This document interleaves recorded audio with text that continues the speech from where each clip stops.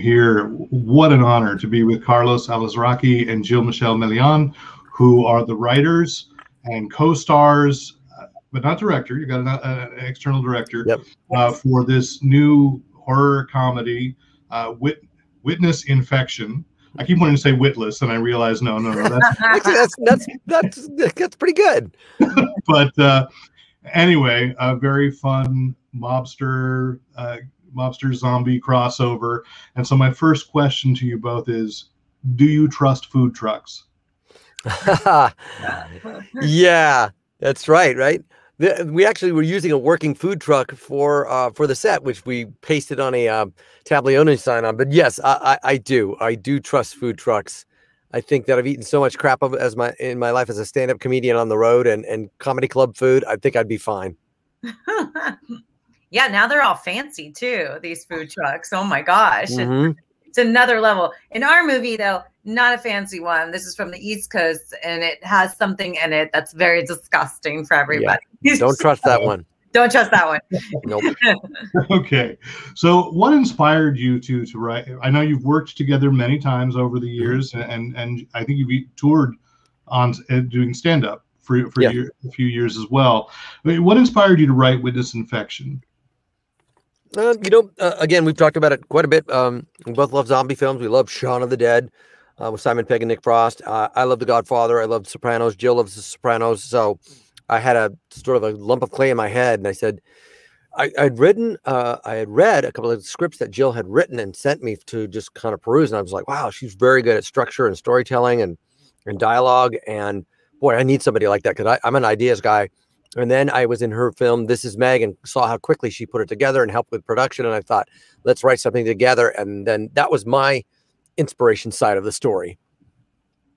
Yeah, and then with Carlos, eh, I mean, we toured together for so many years, and then when we didn't tour anymore together, I was by myself on the road, and I was like, I miss my brother. And uh, so when um, when he initially came to me with this idea, I was like, yay, another chance I get to work with my with my um, like my my best friend, and it was great because we have the same type of uh, sensibility when it comes to comedy and because our love for horror films eh, we could really dive in because we love horror fans. Like that's like our huge that's the big reason why we even wrote this is because we just adore horror fans and their Mhm. dedication and their loyalty. And it's just it, the world that they create. And so we i was like i want to be a part of that. And we just took this idea and ran with it. And because we think very similar um, you know, it, there was no ego involved when writing. It wasn't like, well, I want this and I want it. It was just more like, "Ba-da-da-da. okay, we don't like that one. How about this? Ba-da-da." And then we just find what rhythmically worked for both of us. And I, I hope that shined through because we had a lot of fun doing it. Yeah. No, uh, definitely a lot of, of give and take, and I, I, I was going to ask because obviously you'd worked with many of these actors, Mhm. uh, both as voice actors and, and and live action for, for years as well. You know, was there a lot of give and, uh, give and take improvisation in there as well? Oh yeah, and even Rob Belushi, who none of us had worked with before. Rob, I met through a commercial acting improv workshop. He and Tim Stoltenberg taught it, and uh, originally the part of Carlo was written for me. We thought that we might have difficulty casting somebody to play my father. I talked to Alison Bosch, who saw Rob grow up on the set of According to Jim, and said, "This guy Rob is a great actor." I go, "What a coincidence! I just met Rob, and I saw his short film with Amy Carrero, where he plays a twisted serial killer type guy, and he's very good." Granted, very dramatic, you know. And we thought, how is he going to work with the rest of the crew? Him being sort of the the eye of the hurricane, and he just fit. But Jill, I knew, Vince, I knew, she knew Brett, she knew Monique, uh, Tammy Mortel. We knew uh, Robert Peters, who played uh, Mr. Georgesman, um, and we knew, uh, you know, uh, Ryan Bottiglieri and Ben Begley, who are our hunters, and we knew Brian Orley was another guy, the guy that goes into the pool, goes into the water. We didn't know him, but uh, we just knew these people would gel together. But I was so surprised at how well Tara gelled with Aaron Hayes and how well Jill gelled with Rob and Vince, the three of them at the same time. Hmm. I So, right. I didn't know if Jill had anything to add. I took off took off most of it, but uh, No, no, no, no. Derek, go ahead. No, Okay, but I- well, you know, I, I I've been to Temecula and Lake Elsinore, and so I want to know why that was the setting. I've only noticed wineries, so Huh. you know, just curious. Um, I think uh, originally when we were when we had Andy Palmer um, as the director, um, uh, the script wasn't in Temecula; it was in Jersey, and Andy looked at us and went, "Yeah, we can't afford that." so. Mm-hmm. so we had to rethink it. And one of my best friends, which is also our, our set designer and co-producer, Greg Armstrong, lives in Murrieta, And he is very connected out there and there's more land. Um, and we started looking around and I was I was visiting and we visited our friend that owns the vineyard that we shot that big scene at.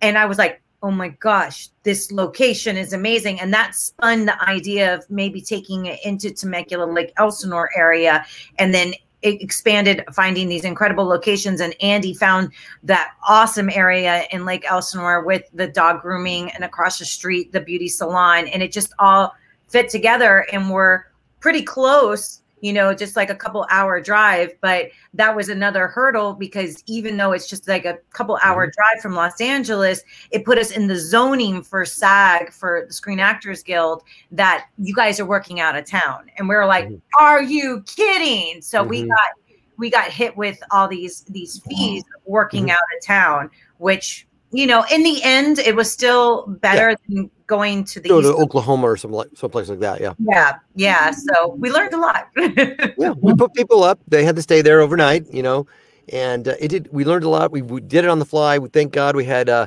Andy Palmer and Philippe, his DP, and, and a great crew, Jim Ojala doing all the makeup and his crew. We really needed everybody to be sacrificing a lot and be at their best and awake lots of Red Bulls, lots of C4 powder, everything to stay awake. But we did it, you know, we did it. All right. Um, so, uh, and Jill, Jill Michele, you have just made Forbes magazine. So uh, I'm going to focus on you for a moment. There, this is uh, allowed a, a, great focus and spotlight on on your career. How does it feel to be in Forbes? Uh, I still can't believe it. It is the coolest thing ever. And the and the most ironic part of it is that I had a Forbes magazine with all these women on the cover in this area where I do like my meditation for the longest time. And I was like, one day, one day. And even though I didn't make the cover, it's like I got this probably one of the most amazing write-ups I've ever received because it tracked me from a child and my inspiration of why I am who I am today and how that that love for filmmaking and love for television and love for the stage it transitioned into this world which is completely different. As a kid i thought i'm going to be a superstar you know and i'm like i'm going to be like joan crawford and bette davis and blah and here i am this comic and i'm making indie films and i'm producing now and writing and putting friends into it. It's like but that spawned it. And the, that writer, Jarrell, she really captured um, the the uh, the feeling I had of great. So hopefully it'll inspire a lot of people. And, and to that end of, of, the childhood dreams and so forth, I, I really think that this is a case of, especially in 2021, it, an opportunity to take your career into your hands, create your own yep. material. How important is that to you? To me it's everything because um, like the forbes article said uh, it's like when diversity when they were like this huge diversity push you know carlos and i both thought like oh this is our time we're like we're gonna be in everything and we both uh, you know we kind of have that same thing where we're very uh, I call it white Latina. He's white Latino, and and what happens is they're like, you're for me. It was like you're not Latin enough, and it really hurt me um, in a sense of going like, oh shoot. Okay. All right. But i had already been doing this and the momentum was going that it was almost like it gave me that extra armor where it's like okay then i'll just keep doing this and i'll just keep being awesome at this. And then i'll keep creating opportunities for other people that feel the same way i do that are so incredibly talented but you we don't check off all the boxes. Mm-hmm and um, and so that inspires me now to just even be more active in creating um, our own content. Yeah, if we're if we're successful in one arena and that provides us with a budget to do some projects or film some sizzles and pitch things, that's what we're going to do. That's always been my mindset. I'm very fortunate to be uh, working in the voiceover uh, world pretty regularly when and that's nice. And then uh, Reno 911 has uh, come come to the fore again, and that's provided me with some uh, on camera screen time and also a little budget for films and stuff like. So if I have that, I still want to be creative. You still realize, like Jill said, you have to make your own path, and I've really, you know, you kudos to like Jason Sudeikis and um, and also uh, Zach Galifianakis, you know, two Greek guys who would not be cast as Greek people, but they're like, no, they're going to blaze their own path. They're going to do SNL. They're going to do baskets. They're going to do their own weird type of stand-up comedy. They're going to produce Ted Lasso. And, and those guys are inspirations for people who also have a cultural background that doesn't sound that, you know, they, they belie their, their cultural names, you know, Sudeikis and Galifianakis. You'd, you'd expect two guys from Santorini that are, and they're not. And so they have to, to, to do it on their own, you know. I think Rashida Jones is another one who's, I, mm-hmm. I believe, mixed, right? Rashida from mm-hmm. uh, Rec- Parks and Recreation, but yeah. is taking producing into her own hands and, and doing what she can to make the vehicle she wants to. Um, and so th- those are inspirations that I think we draw from, and and it plus it's fun. It's fun to work with your friends. We got asked; it was just a blast. We knew what. That's why we wrote it so well. I think is because we were writing for our friends we, we know we know that uh, Brett Ernst is going to blow it out of the water with Dominic. We know Vince is going to be Vince. We know Jill and Rob are going to be able to handle the comedy and the drama. You know, I, I, you know, if you need me to play Jersey guy and mob boss, forget about it. That's what I did. We knew what we could do. We knew Aaron Hayes was terrific. Roger mm-hmm. Rignack, who Rignack, who plays Father Mike, I just saw him in the uh, Varsity Blues thing. Uh, it's a, oh yeah, it's a docudrama. Yeah, Roger's in that as well. But so we knew we just Holly Wortell, Robert Peters, Mr. Mr. and Mrs. Georgeman. We knew what everybody brought and how to write for them. And so then and then they improv. You asked that earlier. They were spewing lines and improvising, and particularly Joe Reitman and uh, Gary Anthony Williams, who are our pulp fiction uh, yeah, uh, yeah. Uh, uh, minions of Mr. Miola. They just riffed that whole uh, scene with regarding two birds and one stone. They just made it up and Rochambeau, and they made it up on the fly, and yeah. it was fantastic. Well, and you mentioned you bringing in friends, and, and two that I just call out because I big fans of, of them as well from animation, Maurice LaMarche and Tara Strong. I and knew so see them on in live action. It's nice to see them, right? And Tara's on uh, Hard Cases now in Toronto. She's starring in a crime series there oh. in, in Canada.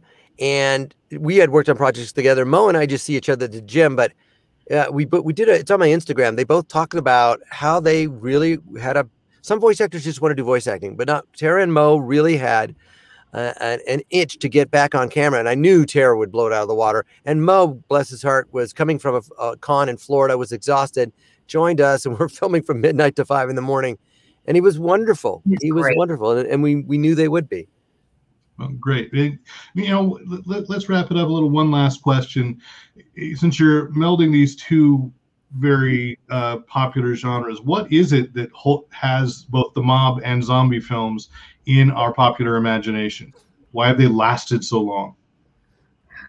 I, I think there is a sense of, for me, from my perspective, the the mobster is the fantasy world of families. It's like what you by with. yeah.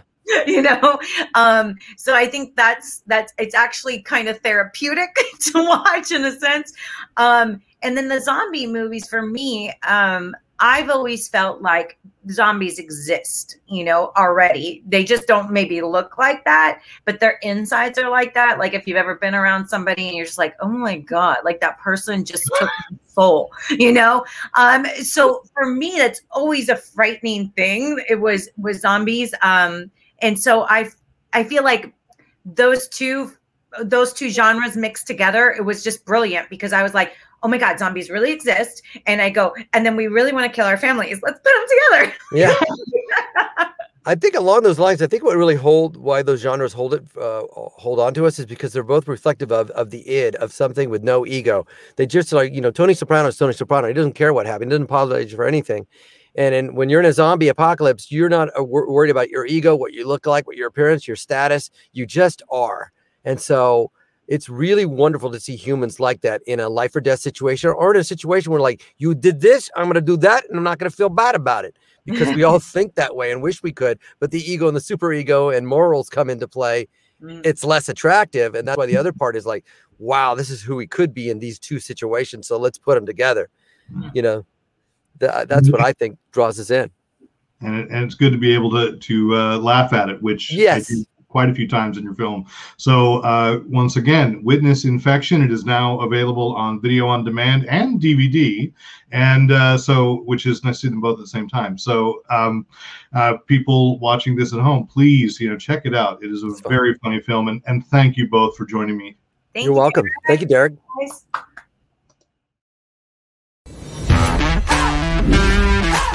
Vince, we gotta go. Carlo needs our help. Let's go. I marry Patricia Miola, Hi, honey.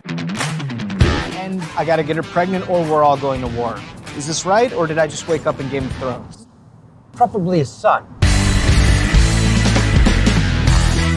If you don't do this, the Miolas, they're gonna keep coming. They're gonna go after you. Jeez. Don't. God. They're gonna go after your friends. Daggers are my specialty. Course, I was 14 years old. Was at the Y. And then they're gonna kill me.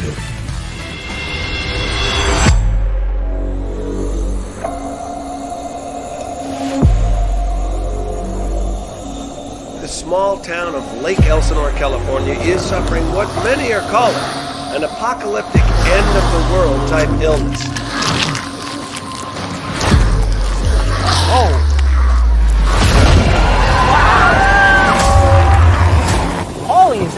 Is your cousin back on meth?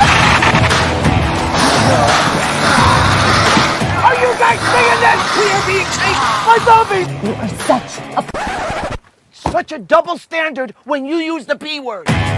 Zombies. What a crazy, stupid day.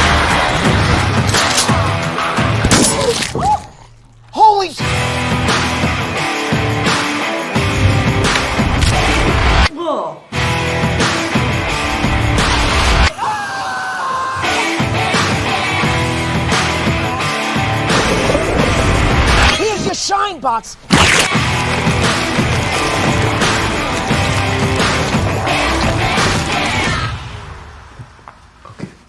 Down. I don't think I don't think this is gonna help.